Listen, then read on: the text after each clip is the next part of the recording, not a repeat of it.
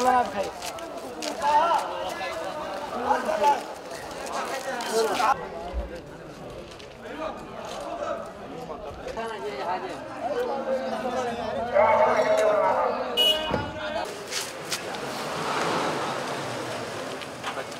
يستهدفون الشعب اليمني من أجل تجويعه من أجل اركاعه لكن هيهات من الذلة لن يركع ماذا؟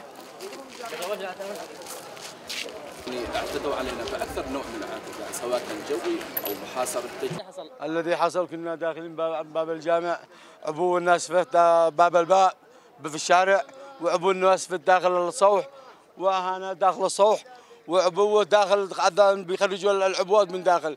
ما حسينا إلا بالانفجار كامل لما طائرة الأشلاء.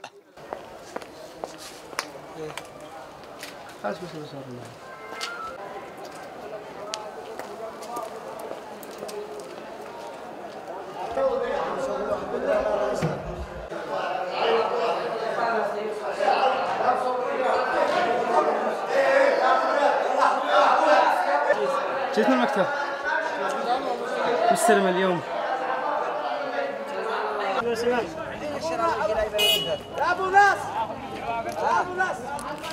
قام بالتفجير التفجير الأول عند العمود امام المحراب وعندما الناس بداوا يخرجوا